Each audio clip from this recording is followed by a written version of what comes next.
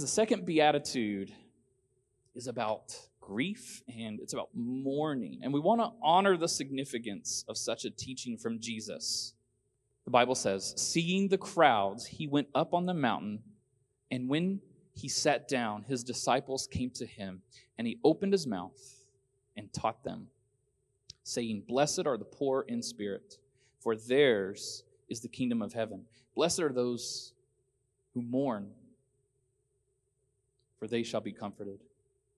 Now, I'm not unaware that you can mourn the loss of other things and even people when physical death is absent. Maybe you had a falling out with a close friend. Maybe you walked through divorce or rejection and you had to mourn the loss of what was. Maybe you have experienced unspeakable trauma in your life. Many of us need to reflect and remember and mourn.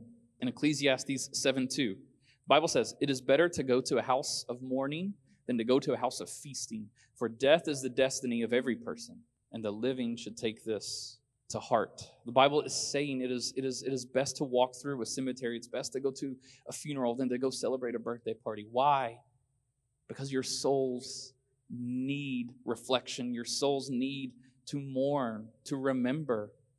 Because, church, listen to me unprocessed grief will literally ruin your life and it can keep you from healing. I just simply believe Jesus said his word that if you mourn, if you process, if you walk through, if you grieve, he says, if you mourn, you will be comforted. My first experience with death doesn't mean I also had my first experience with mourning. My first memory of death was when I was maybe five or six years old, and my family traveled to Virginia for a funeral of a family member. My brothers and I, we went for a walk, but one of my older brothers saw a cemetery and said, Let's go check it out. And in the cemetery, we found a hole. Imagine the excitement. We didn't quite understand who put a giant six foot in depth hole in the middle of a cemetery, but we weren't asking questions. We just saw a hole and needed to climb into it. That hole, as you could guess, that was my great uncle's soon to be resting place 24 hours later. But I was a kid and I didn't know better. And so, listen, that is kind of the weird thing with, with death is that sometimes you don't know what's going on. You don't know how to process, or you're too young to understand. But as we get older, we do start to understand things. And so my first experience with death was not my first experience with grief and mourning. I was in high school when I had my first big experience with mourning and grief, as I lost uh, two classmates in the class of uh, 2008. Uh, my friend Carl uh, at church camp. I remember when he prayed and he gave his life to Christ. Uh, and then Brittany on the other side of that, uh, she and I had a ton of classes together, and we always sat next to each other or in front of each other. I remember just processing all that, staying up almost almost all night when I found out the news with friends and we were all just crying together. And that experience kind of alters your life a bit. And so I just want to ask a question. What is it about death and sadness that has such a large impact on us that, that we will avoid it until absolutely necessary? You weren't meant for death. I wasn't meant for death. That's not why God created us. And yet, by our own doing, death is now a reality to us. But listen, Listen to how good God is. Even though it wasn't what He intended, He has made a way for us to still experience and know blessing, and it comes through His comforting of you and I. So, Jesus, He says, Blessed are those who mourn, for they shall be comforted. I think there are two types of mourning. The first is emotional, and the second is spiritual. Let's, let's, let's dive into this. Uh, emotional mourning, you know, that is the loss of a loved one. It's a personal hardship. How should Christians respond in such situations?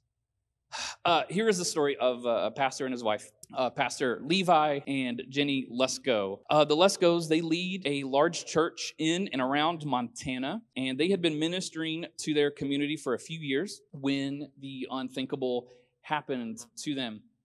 Their second born daughter, who was only five years old, uh, suffered a severe asthma attack, and, and she died in her father's arms even before the ambulance could arrive. Uh, Pastor Levi said it was the absolute most treacherous thing you could imagine. But he still delivered a Christmas Eve sermon four days later. He told his church, She is alive in this moment. She's more alive than she's ever been because she knows Christ. Looking back on that day, the said, We've not felt destroyed by it. We felt deepened by it. We feel honored, privileged that God would allow us to suffer. We felt like He trusted us with this trial. And, and there was a sense from the beginning that God didn't grace us with the pain, but He graced us with the power to go through it. And so the words of Jesus, to me, they just ring true. Blessed are those who mourn, for they will be comforted. And, and by the way, their, their daughter's name is Lenya. And if you know my family, then you know how impactful that name is to us, as my daughter was named after their Lenya. And so on those nights, when she wants daddy to put her to bed, we always pray. My Lenya doesn't know who Lenya Lusko is. But as we pray, I always thank God for the legacy of a five year old that I've never met, who I've never known, gets to be lived out right here. So I thank God for this little Lenya. And every time I, I say my Lenya's name, it's, it's like I, re, I get to remember this other little Lenya. And it just puts things into perspective. Pastor Levi wrote, God doesn't expect you to be happy about what has been torn from your hands. Whether it's a marriage, your health, a job, or someone you love. But if you are willing to trust Him, He can turn your trash into triumph. Pastor Levi posted, In Lenya's absence, there is a void and a longing and a melancholy. But in that emptiness, there is grace. And that is a beautiful, messy treasure, too. How tall would you be now? What would the chemistry be like with you there in the mix, loving and laughing and playing? I wish I knew. But one day I will. Church, please just, just hear this. Suffering builds something inside you, nothing else can. Suffering doesn't have to be an obstacle to being used by God, but it can be an opportunity to be used like never before. Don't put your grief off any longer. Don't put your mourning off any longer. It's just, it, it has a way of, of building something inside you nothing else can. Church, listen, I'm not oblivious.